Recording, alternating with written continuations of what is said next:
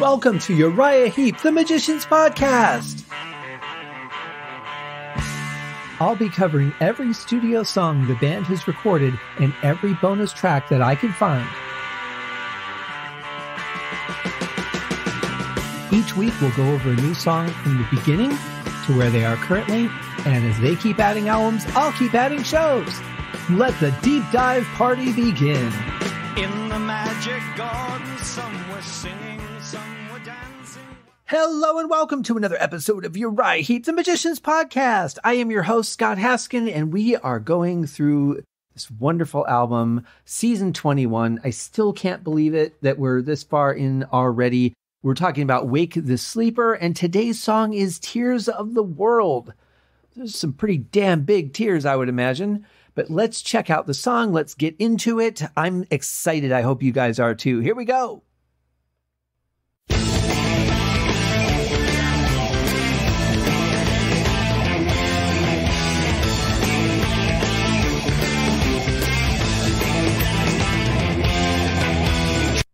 Well, it's very possible that I have completely lost my mind at this point, but there is something about this that reminds me of what would be a faster and heavier version of an early song called Real Turned On. I don't know what it is about the riff exactly, uh, but it, it really reminds me of that. And um, there are certainly some similarities, uh, to be sure. But I like this. I like how it just kicks in. It's heavy right off the bat. It's active. It's energetic. It's going places. And so are we right into the next part.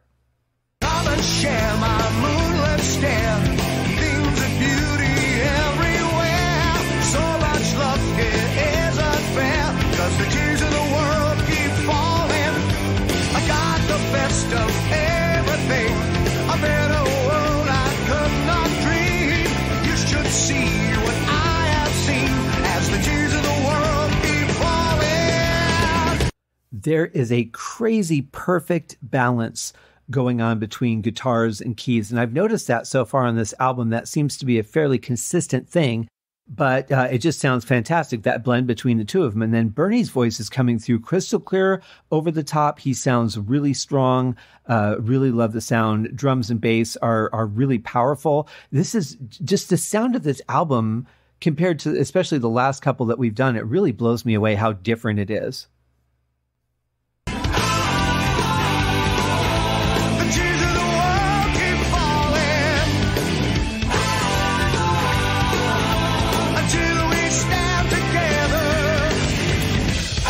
I really like the sound of the backing vocals here. Um, it's kind of like it's it's coming back to that old style of backing vocals that we're used to hearing from Uriah Heep, right?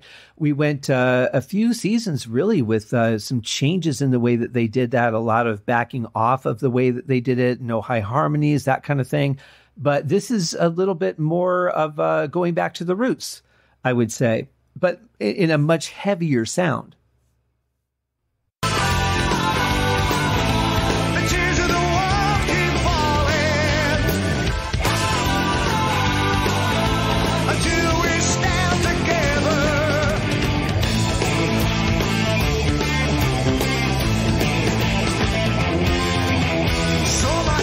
I really like how the sound of Mick's guitar is merging with the keyboards as well.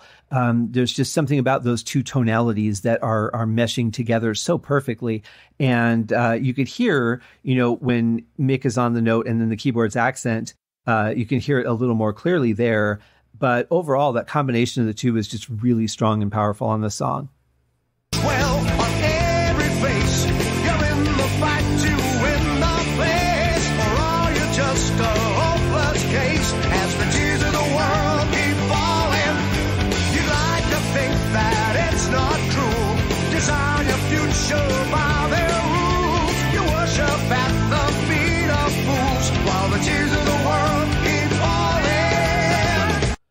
Really tasty way to duplicate some of the lead vocal uh, to really thicken it up. And, and Bernie's really good at that too. He sings very, very precisely, but he just has a great sound when he, you know, when he does his own uh, duplication. But I, I just love this. The groove is great. I love how simple the music is behind the verse.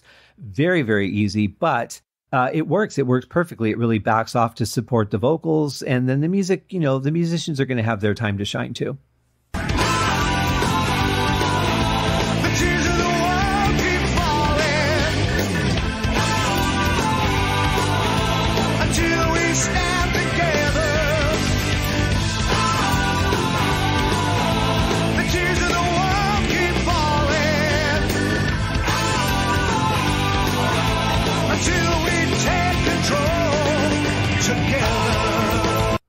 So I think we're about to change up into another part here. So before we do, I just wanted to say I really like the way that Russell's playing on this album. His drums sound fantastic, but he's throwing in a lot of just unexpected things. There's little subtle things like changing to a China cymbal in the background of the part of the chorus. And that love those drum fills that he's doing. Um, they're really aggressive, but they don't sound like they're taking anything away from the song. You know, the song itself is fast, but not aggressive. And his drums are actually fitting right in.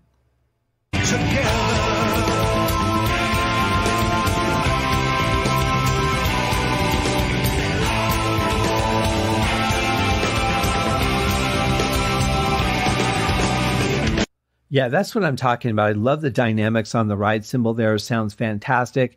Um, really goes well with the backing vocals that come in from the chorus. Uh, just great stuff.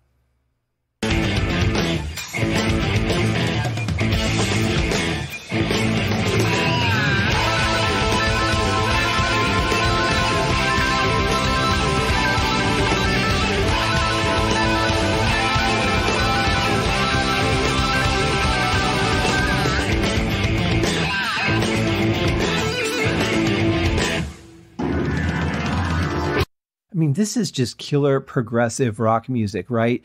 Love what Mick was playing during that part where he was uh, a little more out in front.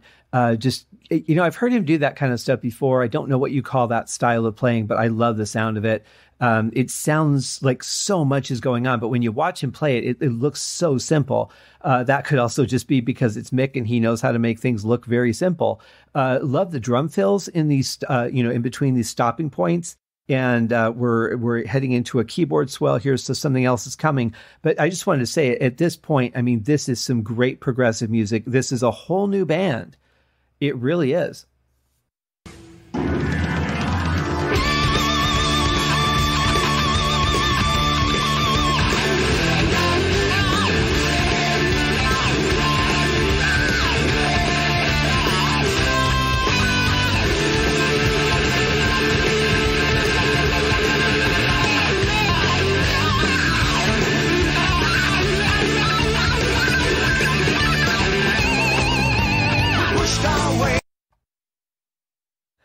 I don't even know where to go.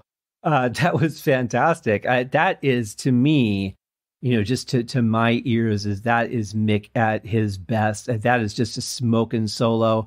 Great stuff played. I love the support of the band. You've got a few, you know, string runs in there from Trevor cutting through, which are really nice because the bass is the one thing I am kind of having a little bit of a challenge hearing on this album. The drums are very heavy and overpowering, um, but I think between the keyboard and the bass drums, it's probably hitting some of those same frequencies from the bass guitar.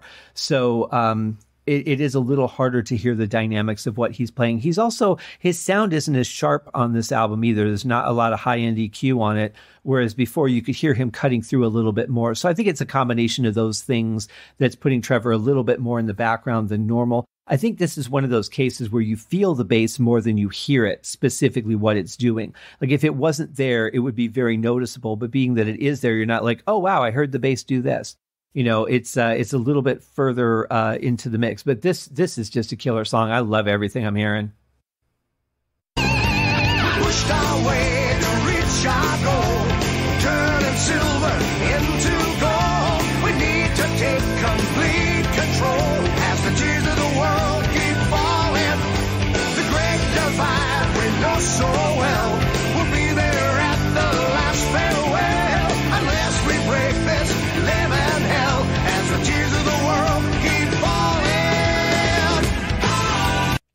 I'm hearing a high harmony in the background that sounds like it's from Bernie. It's really subtle, um, the way that they've mixed it in, but it sounds just fantastic. And I love the the tone of it. You know, the blend of of his voice. He's so good at uh, you know, like I said, he's so good at working with his own voice and layering tracks together. Um, I would say one of the best.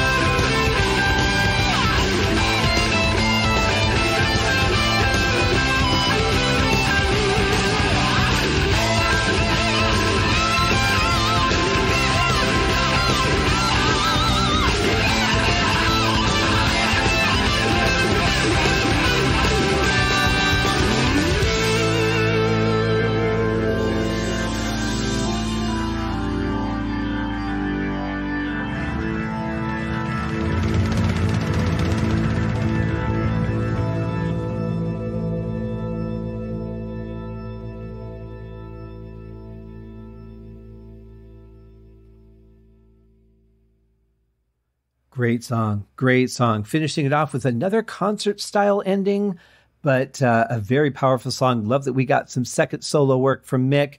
Uh, re- really powerful stuff. Love that. And um, yeah, a, a really solid, solid piece of music here, guys.